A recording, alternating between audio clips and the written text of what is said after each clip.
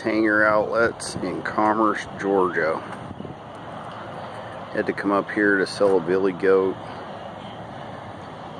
Billy goat brush hog, one of the push behind ones. Not the actual animal. But that's what it looks like on a Saturday when it's empty.